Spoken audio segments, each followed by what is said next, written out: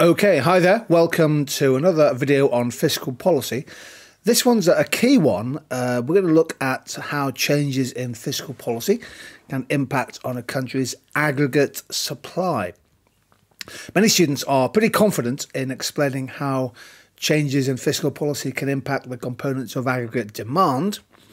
Actually, relatively few students focus provision on the possible supply side impact of fiscal policy.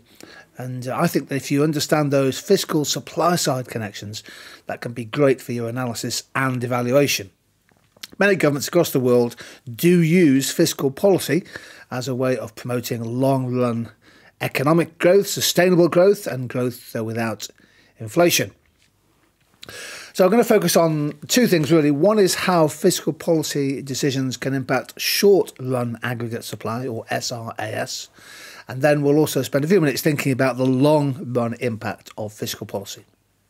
Well, here are four examples of how changes in fiscal policy can impact the short run costs of producers across the economy, therefore shifting short run aggregate supply. One would be things like changes in VAT, value added tax, a tax on suppliers. Uh, if VAT, for example, was to be reduced, currently 20%, the government reduced VAT, for example, for uh, travel and hospitality businesses during the pandemic. But if you cut VAT, that reduces their costs, and other things being the same will cause aggregate supply to shift outwards. On the other hand, the government might introduce some new and higher taxes.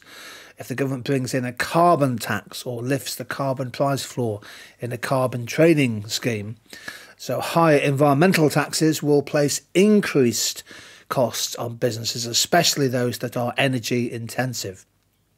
As a result, uh, short run supply will shift inwards.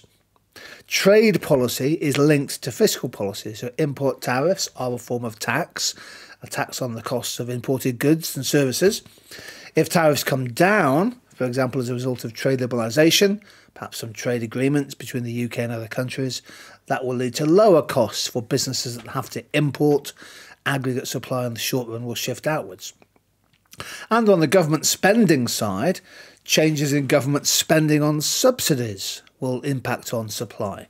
Uh, if, for example, the government increases an input subsidy paid to producers, for example, farmers might have some of their costs paid, uh, an increase in subsidies paid to producers lowers their costs. I hope you can visualize that uh, diagram and therefore cause an outward shift of supply.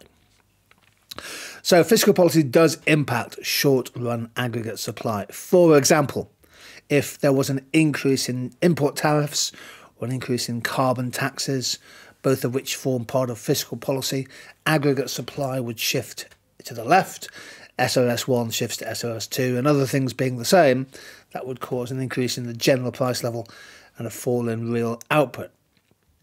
Now, what about fiscal policy and long run supply? I think this is an important connection to understand in your revision and have a couple of good examples uh, for your notes. Well, impact long and aggregate supply, of course, is a slow burner, but fiscal policy can have quite significant pervasive effects. First of all, some economists think that work incentives are impacted a lot by the tax system. So, if the government changes marginal and average income tax rates, that might have an effect on people's incentive to work. Free market economists, for example, believe that cutting income tax is a way of stimulating work effort, work hours, and labour supply. The bigger the labour supply in the economy, the greater is long run aggregate supply. State funding on the spending side, state funding and research and development can often have very important effects on, on the pace of process innovation and dynamic efficiency in markets, uh, particularly in areas related to defence and education and what have you. Linked with that is spending on education and training. Well, that's a bit generic, but better funding of STEM education, for example, uh, better funding of industrial training, increased research grants for universities and things. All of these things can lift, improve human capital and, and labour productivity. And both of those are key factors determining the long term trend rate of growth. Changes in corporation tax and changes in import tariffs can influence the size and direction of foreign direct investment. Uh, quite a few countries have gone for a low corporation tax environment, deliberately designed to attract inward investment, which of course can increase the size of a country's capital stock and therefore increase productive capacity. There are some spillover effects on labour productivity, and that can drive long term growth. And the, and the, the fifth point in this slide, I think, is perhaps the most important that publicly funded government spending on new infrastructure uh, is massively important to lift long and aggregate supply. Not only because it uh, creates extra productive capacity in the economy, but it also makes private sector firms more efficient and profitable too. It can affect their short run costs. Uh, the Economist um, calls infrastructure the economic arteries and veins. What a fantastic phrase to use. Transport, ports, railways, airports, power lines. Pipes and wires that enable people, goods, commodities, water, energy, and information to move about efficiently. So, if a country invests in better quality infrastructure, that allows an economy to become more efficient, lifting productivity and therefore raising the long term growth rate and per capita incomes. Here's a section of the new rail tunnel under construction and the Crossrail project. I think this is in Woolwich.